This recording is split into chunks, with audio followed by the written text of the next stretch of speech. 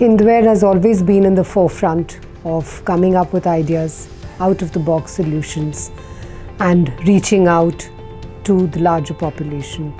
This time on World Toilets Day, which is on the 19th of November, we have them announcing a toilet for a girl child. What a great initiative and really a way to pay back to the society.